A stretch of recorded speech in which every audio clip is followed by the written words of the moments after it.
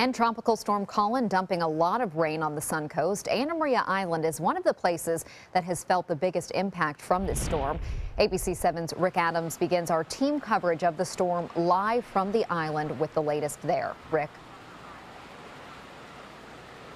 Yeah, Haley, it has been a big old mess out here all day long. These flooded roadways have made it very difficult for people just to get around. The rain just keeps on coming, and so does the flooding. Many streets on Anna Maria Island are underwater, all thanks to Tropical Storm Colin. Hopefully, the sun will come out in a couple days.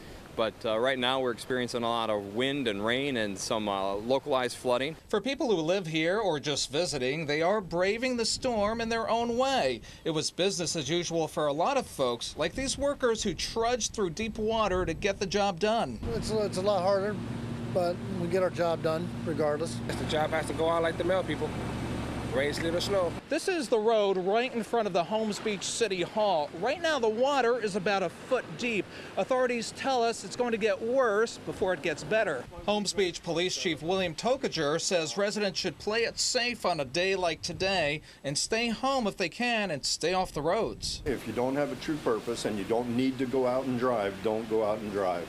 There's no real reason for it if it's not an emergency. For folks who are here on vacation, they tell us riding out this storm is like taking in another attraction. This is pretty amazing. I've never seen anything like it.